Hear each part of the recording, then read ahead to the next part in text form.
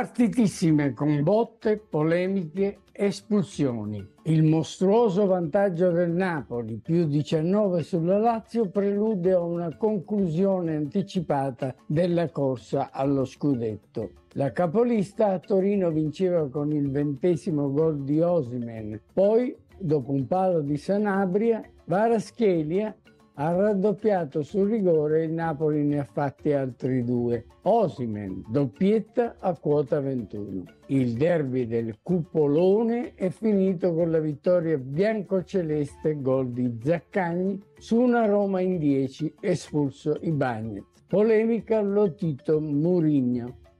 La Juve ha vinto a San Siro contro un Inter ondivaga, gol di Kostic, nona sconfitta nerazzurra Proteste per umani di Rabiot.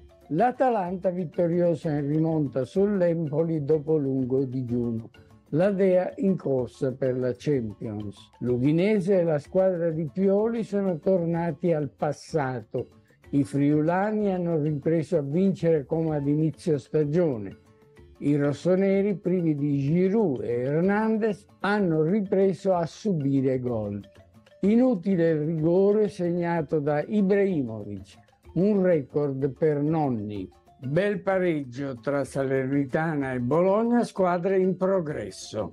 Nella corsa per l'Europa passi importanti del Sassuolo, vittorioso contro lo Spezia.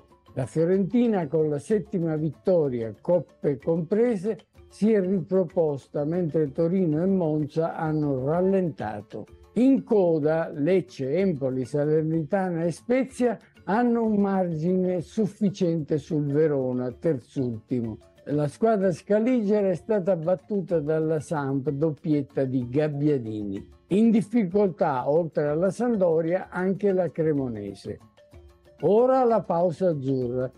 Per Mancini la novità Retegui, un oriundo argentino con la rete incorporata nel cognome. Retegui, appunto.